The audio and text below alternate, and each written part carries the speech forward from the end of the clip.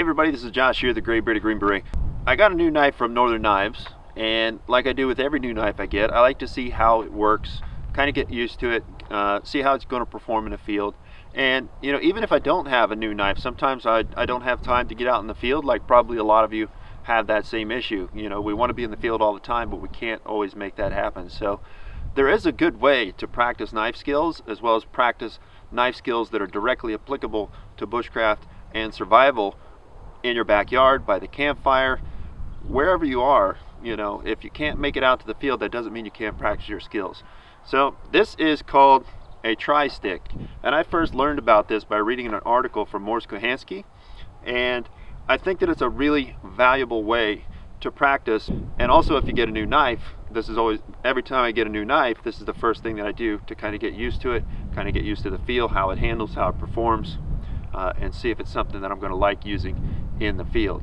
When I'm starting, I like to select a willow or a tulip poplar or something that's, that's reasonably soft that's going to be fairly easy to carve. This time I selected willow and I've gone quite a bit longer than I expect to actually need. I've left probably an additional six to eight inches on that to act as a handle. I leave that extra length on there because when I'm carving the notch closest to the top, what I want to be able to do is carve here flip it and still have a handle and be able to carve the notch. If I start my notch way up here, what happens is I'll be able to carve this way and when I need to flip it over, I don't have anything to hold on to. A lot of times what you'll end up doing is carving towards yourself rather than being able to hold it up here and carve away from yourself. So I like to start with a little bit extra length. Now one of the inherent risks of using a knife for anything is that you could possibly cut yourself. Uh, so whenever you're carving, make sure you're observing all the rules of knife safety. Main thing is watch your triangle of death. Make sure that you're not carving inside your thighs. Make sure that you're not using yourself as part of the backstop. Make sure there's nobody in your follow through, including yourself.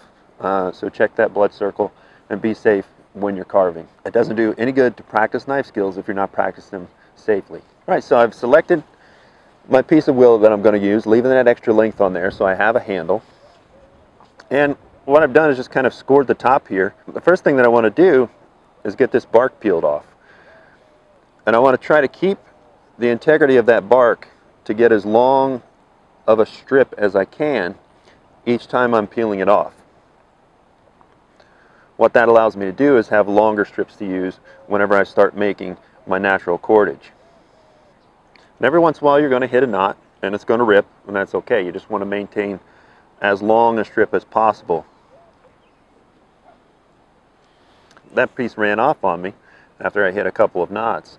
But I've still got a 12 inch strip that I can use for my cordage. After I've got the bark stripped off of this, I'm going to take those strips of bark and I'm going to set them to the side because I'm not going to be able to strip that down to make cordage until I finish with the root stripper. And I'm going to use that root stripper to further process this to get it ready to make into cordage. So I'm just going to set that to the side. While it still has length on it is when I want to start doing my reductions and practicing my feathers. I'm going to do on this end, I'm going to do a square reduction and I'm going to create coarse feathers. On this end, sort of towards this side, I'm going to be doing a round reduction and on that I'm going to be trying to create medium and fine curls to add to that tinder bundle so that I can light it with a ferro rod at the end whenever you're doing it, it's best to have some sort of an anvil to put it up against. And you're using different parts of the knife. So for the coarse feathers on the square reduction, you want to keep your wrist sort of locked. And when I'm making the coarse feathers, I'm using the first inch or two of the belly of the knife here. Keep my wrist locked, I decide where I want to start those curls. And it's a gentle touch and control of the knife. Now not pushing the knife so much as I am slicing the knife down through as I'm creating that flat plane.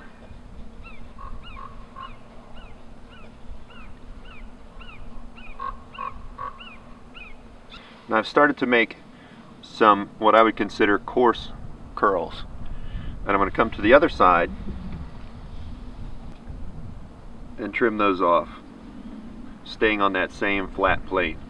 I've created a flat plane on one side and I'm going to continue that all the way around. So what I'll do is normally go 180 degrees over and continue that same process.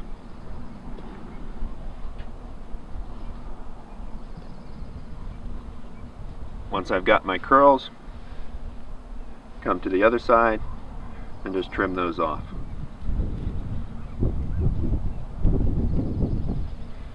Now I'll rotate it 90 degrees in the other direction and do the same thing.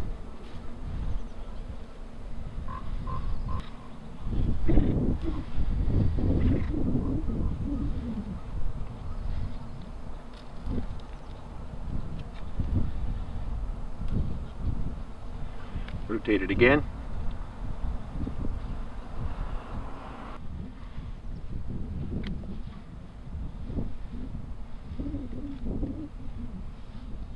Now what I've created is a square reduction. I've got four 90 degree edges and I'm left with some nice coarse curls for my tinder bundle. Now because I want to create these feathers with my arm locked out, when I go to do the round reduction I'm actually going to flip it over to where it's upside down. And when I'm doing a round reduction I'm using a different part of the knife when I'm doing my coarse feathers, I'm kind of using the first one or two inches here. When I go for the round reduction and I'm trying to create more medium and fine feathers, I'm going to go up towards the front of this curve. And that's what I'm going to use primarily to create those. But I'll slightly change the angle of the knife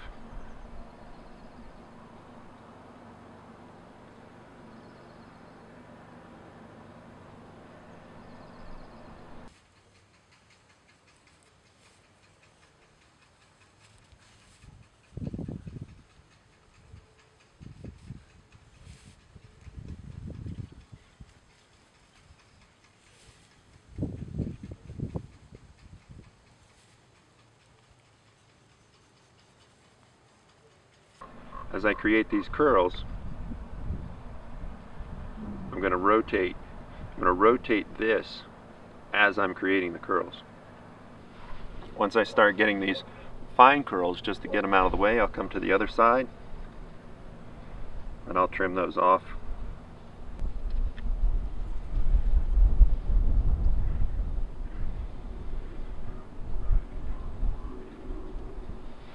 I'll take those fine curls and put them in my tinder bundle. And I'm just going to continue that all the way around until I've reduced this to the diameter that I want it.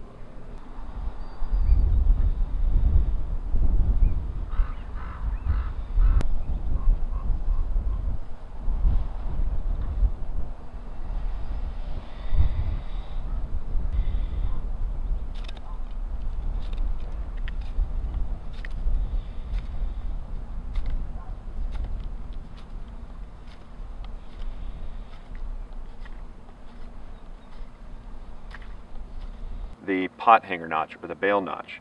So to do that, what I want to do is first create an X, and it's helpful to have some sort of anvil for that. I'm going to leave myself enough of a handle, and essentially I'm making a stop cut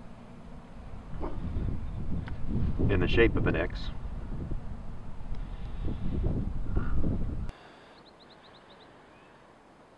And if I were using a fixed blade knife, I could easily take a billet or a baton, whatever you want to call it, and I could make those stop cuts deeper and it would make this notch go a lot quicker.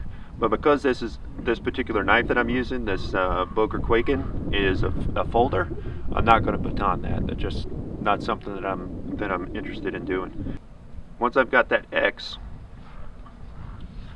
I'm going to start carving that out towards the X. I'll take small shavings towards that that point and I want to preserve that point. So usually, you know, three to five shavings.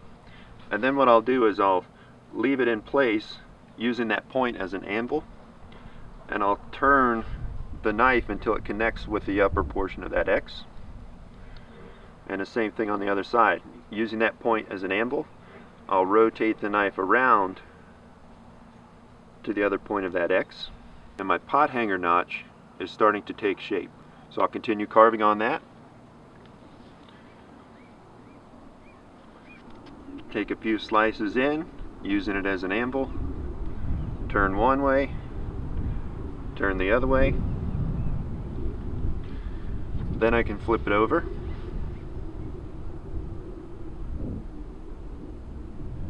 and trim those off.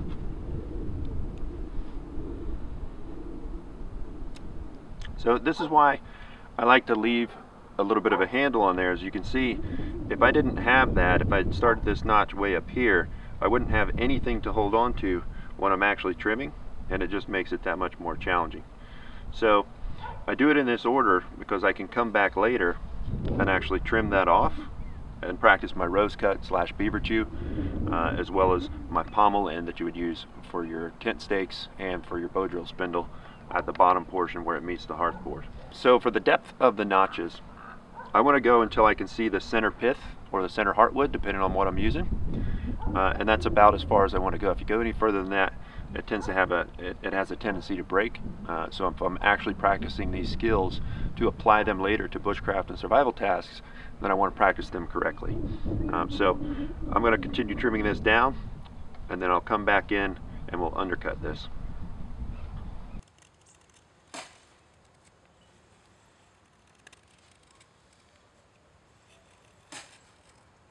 Now incidentally, when you get good and proficient with a knife, and this is a new knife, which is why I'm doing this, uh, as well as I'm teaching this to you on camera, so it takes a little longer, but but your notches and each notch and skill of the try stick, a good goal to shoot for is one minute per notch. Uh, so this try stick would take, you know, 15 to 20 minutes at the most. Uh, once you get proficient with the knife that you're using um, and your knife skills develop. Now, having said that, um, if this is your first one, don't push yourself past the point of safety to meet some arbitrary goal that doesn't really mean much. Um, it just gives you a, a, gauge of how well your knife skills are doing. Uh, so good goal to shoot for, but don't put that kind of pressure on yourself in the beginning and do something unsafe and cut yourself. The whole point of this is to be able to practice your knife skills and have that practice apply directly to bushcraft and survival skills in the field. Once I've got the basic shape of that, including the hook, I'm going to use the very end of my knife and I'm going to do some fine carving and shaping skills and I'm going to undercut sort of a, a scooping motion like this and like this so I can get an undercut on that bail notch, that pot hanger notch, so that when I set a bail inside there, it'll stay and won't fall off the hook. So I'm just going to come in and just shape that being careful not to split it and being careful not to knock off that point.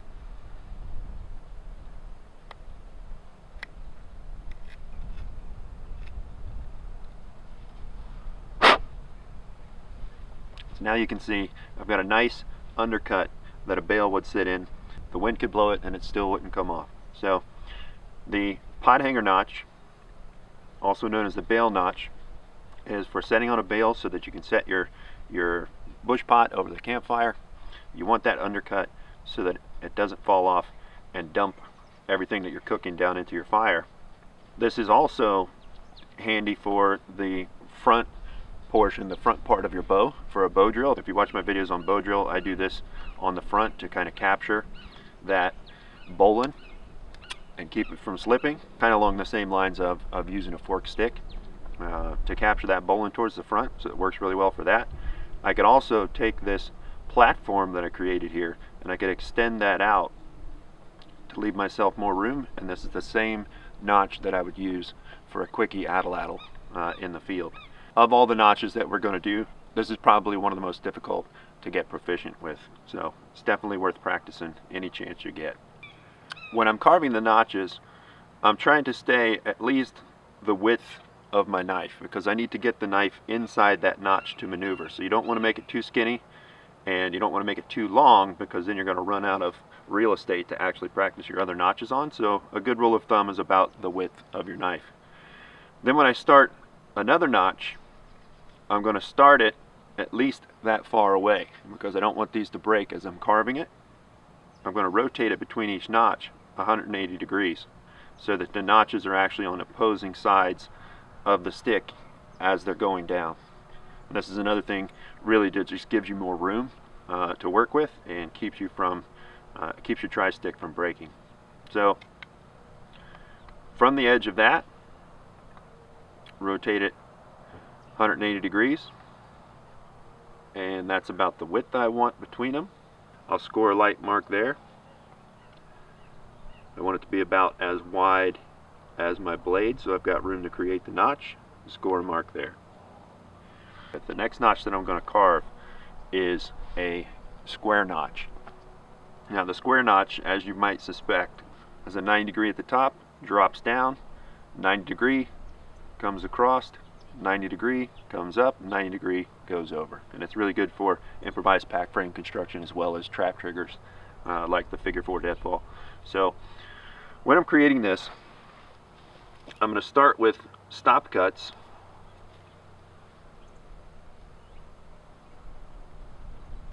where I scored those marks, where I want the notches to end. And remember whenever you're making stop cuts or you're carving, watch your follow through. Don't use your body as a backstop. Use an anvil anytime you can. So I've created those stop cuts. Now what I'm going to do is I'm going to carve towards those stop cuts and reduce that material in the center. After I've done a couple, I'll trim that off, flip it over and go towards the other stop cut.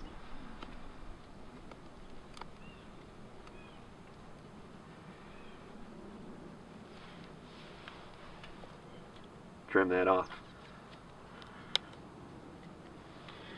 And it's starting to take shape, but just to make the point again, you know, you can use a billet or a baton if you're using a fixed blade knife. Um, and that would speed up this process quite a bit. So I'm going to make my stop cuts a little bit deeper on both sides and I'm maintaining that 90 degree there. And then just going to trim towards those.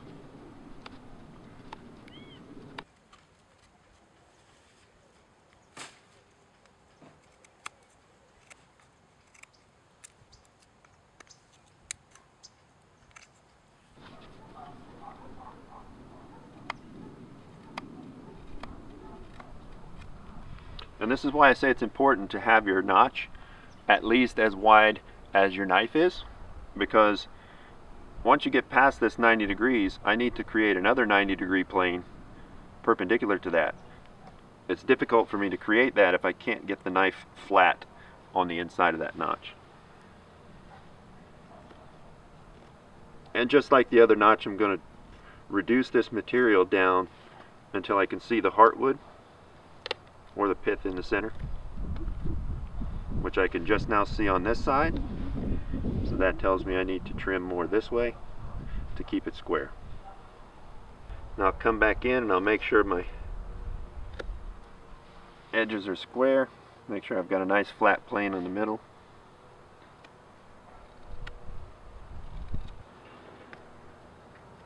And I've created my square notch. And the next notch that I'm going to create is a saddle notch. And a saddle notch is basically looks like a log cabin notch. Kind of how you would stack the ends of two logs together in a log cabin. And that kind of has a, a little bit of a scooping shape on both sides. So I'll start on one side and I'll begin creating that. Usually two or three passes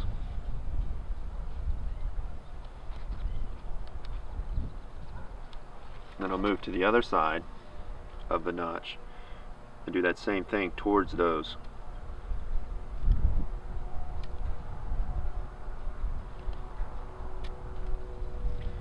Flip it over again and I'll just continue that until I create my saddle notch. And once I can see the pith or the center, I know that I'm done and I'll move on to the next notch. The next notch that I'm going to create is the V notch. And the V notch is useful for a hearth board, uh, for either a bow drill or um, the hand drill or the bamboo fire saw, even though the bamboo fire saw is a little more exaggerated. But I want that to come down to a point in the very center. So I'm actually going to put my stop cut in the center between those two marks that I just scored. And I'm going to trim towards that stop cut on one side, flip it over, and connect the two. And I'll continue to do that until I get to the center.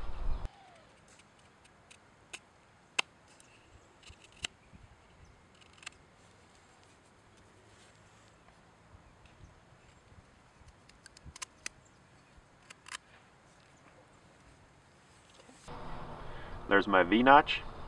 The next notch that I'm going to show you is the latch notch, also sometimes referred to as a number seven notch or a stake notch, I've heard it called. It's a recess that you would put in a tent stake that you bushcrafted uh, so that you can actually tie cordage around it. Uh, so it goes by many names. Uh, the latch notch is what I know it as, um, or 90 degree latch notch, because this corresponds with a square notch on a figure four deadfall. So whenever you're creating this, you want the stop cut to be at the top. You're going to carve towards that at an angle.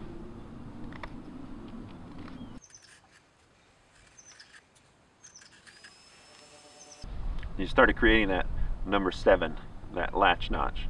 So this I want to stay at 90 degrees, so I just keep coming back up using my anvil and trimming that off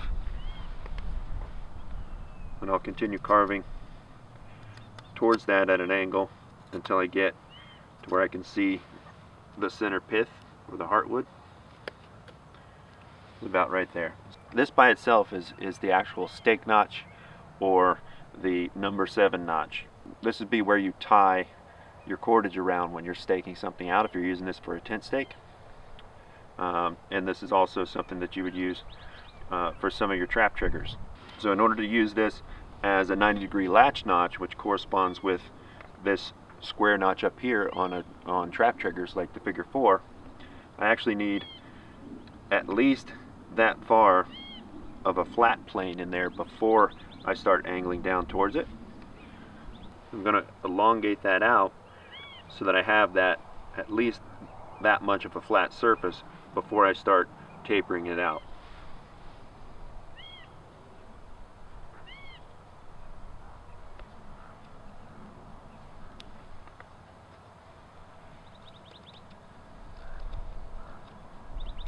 Now I've got a nice flat surface right here that would correspond with a square notch and I'm tapering down into that. That is a 90 degree latch notch. The next skill that I want to practice is the hole through. What I'm doing is creating a hole that passes from this side all the way through to the other side, sort of like a sort of like a mortise that you would use a through tenon for. This is also what I do on the back side of my bow for my bow drill to help keep the cordage in place so I don't have to spend a lot of time retying it and it's it's also useful as a, a trap trigger like the Ojibwa bird pole uses this style. So it's a good skill to have. Using the anvil instead of your body as a backstop. If you look at your blade, your blade tapers, it's wider at the top and it tapers down. So we're going to use that to our advantage. find the spot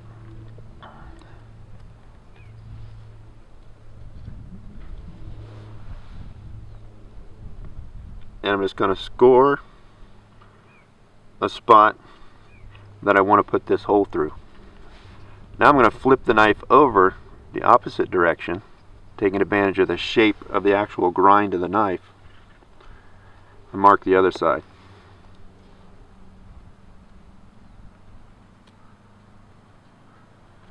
Do that on four corners.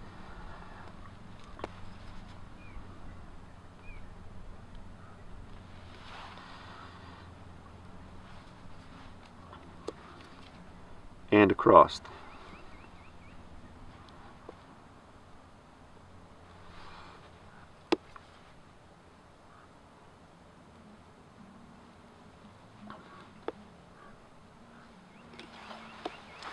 Now that I've got sort of my hole through scored out, I'll use the tip of my knife and just pop that out.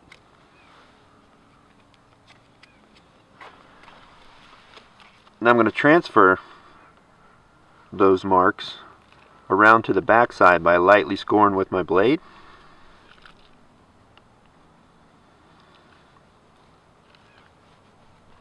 And do the same thing on the back side. This time I'm going towards the hole that I've already created on the other side. Once it's all scored, use the tip of my knife to pop that out.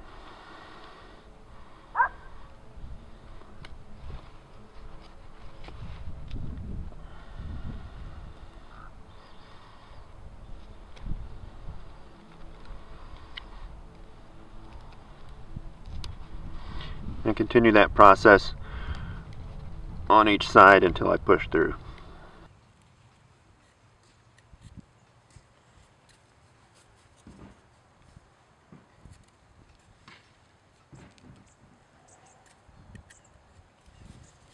Once I'm through, I want to put a little sliver in there of something in this case I'm just going to use a shaving off of the actual try stick itself and I'll push that through.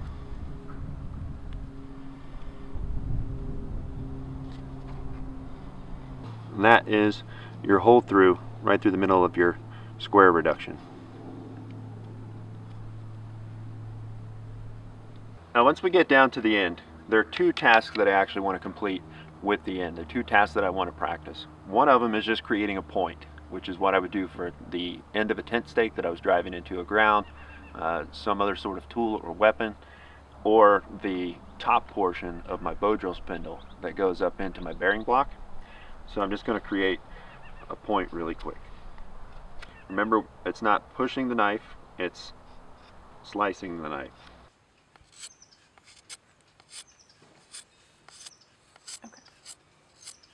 As I'm removing material, I'm rotating this around.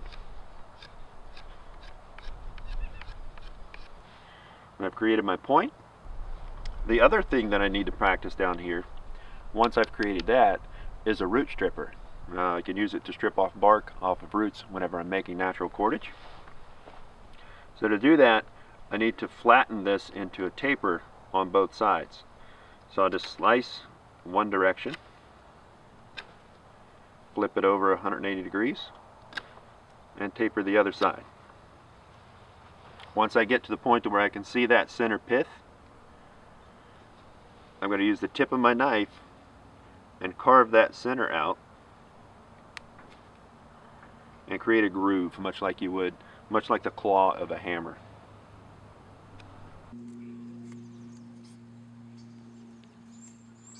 Now that I've got that groove created, I can pull roots through that slot that I created that'll actually strip the bark off of the roots and I can use that for cordage. So that is the root stripper. Another task that I want to practice is the rose cut or the beaver chew. So for the rose cut or the beaver chew, uh, this is a cutting technique to where you can reduce the size of a limb uh, or a branch that you're using. All I'm going to do is slice as I'm rotating the branch around. Once I get all the way around, I'm going to slice a little bit deeper in the same area.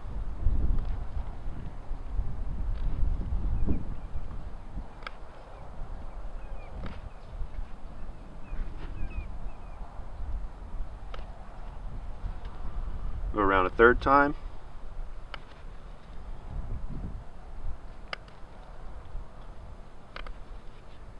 and I'll continue that until it breaks clean. And you can tell by looking at it what I'm left with looks like a rose. Then I'll come back to the top of the try stick and I'll actually do what's called a pommel end, which is useful for the top of a tent stake. It's useful for the bottom portion of your spindle for your bow drill where it meets the hearth board. And essentially you're putting a pommel end or a crown on the end of the stick. So that's another skill that we use after we do the rose cut, beaver chew, technique. Once you've got your try stick created all the way up to that point, the last two skills to do are to make natural cordage using a reverse wrap. You know, two to three feet of cordage is about the most useful length that you can get out of one try stick. So if you haven't seen that video, I'll put a link up in the one of these sides. I'll put a link up to that so that you can see how to take that and make natural cordage with it. The final task that you want to practice is using a ferro rod to light the feathers that you created. The only way to really know if those feathers are adequate enough or if you still need a lot of practice, which you know we all do, if the feathers you created while creating your reductions uh, won't take a spark very readily, then uh, your feathers are too coarse uh, and you need more practice creating those fine feathers most likely. So uh, the particular knife that I'm using for this try stick video is a folder. It's kind of a gentleman's folder. It's not really made for bushcraft at all. Uh, but I'm going to be carrying it in my pocket uh, and that's what I'm typically doing. So I wanted to know how it would perform creating a try stick. I wanted to get used to how the knife handled kind of the dexterity of it how it how well it retained an edge. Um, so having said that it, it doesn't have a 90 degree spine. That I can test this particular knife for its ability to strike a ferro rod.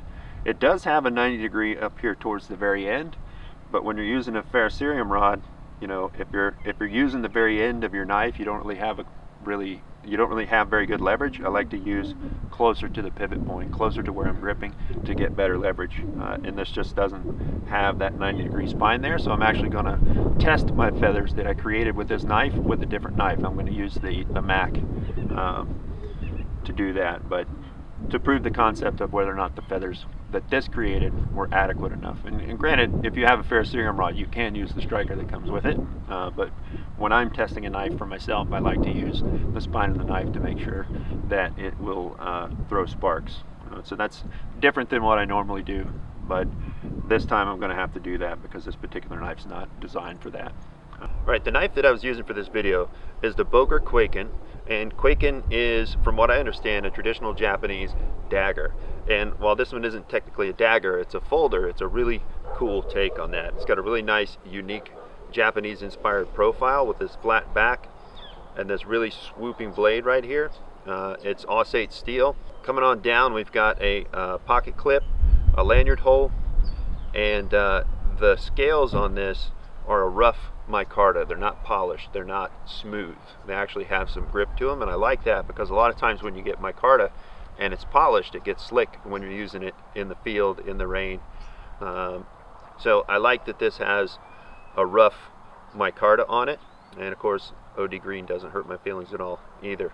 Uh, it's got a really good positive liner lock on the inside, and that comes over a lot farther than a lot of liner locks that I've used in the past and that just kind of gives you that feeling of, of security that it, it does have that blade locked in position. So really good liner lock. It has a thumb stud so you can do one-handed opening and it actually opens extremely well, really smooth to the point that you can actually just momentum open it. Overall the craftsmanship on this knife is actually pretty good uh, and it performed well. Uh, I actually had several technical difficulties uh, with camera equipment, microphones, wind, uh, weather, you name it, uh, in making this video. So this actually went through probably about four or five different try sticks trying to capture all that footage uh, for this video and it didn't take anything more than a strop and the edge retention on it has been great. So it's still ready to go for the field. Uh, I don't really consider this a bushcraft blade, but you know, for my pocket knife, uh, it's kind of more of a, a, gentleman's folder and it actually is a really really good carver which is what I use my pocket knife for most of the time anyway so that is the Boker Kwaiken. now I was sent this knife from Northern Knives uh, to field test it for a while and I'm going to keep rotating it in with my tracker uh, and my a couple of case knives that I have, my trapper and my hunter. Northern Knives loves this channel, so they're giving you a special deal. And keep in mind, again, I don't make anything off of these sales. That's not what this is about. This is about them extending an offer to you. You can go to Northern Knives. I'll put the link down in the description. The code, the coupon code that you'll use is GBGB underscore Boker. That code will get you free shipping, plus it'll get you a GB squared logo dog tag that they're making Plus, you'll be able to pick out your own personalized dog tag that they'll send you with your order. So again, I don't make anything off of those. They're just extending that offer to you guys and I'll put those links down in the description as well as that code. And if you want to get one for yourself, you can get it there at Northern Knives. All right, thanks for watching, guys. We appreciate your views. We appreciate your likes. We appreciate your shares. We appreciate your comments and your questions. If you have any questions, put those down below. I will get to them. We'll answer them. And uh, until next time, hope to see you in the woods.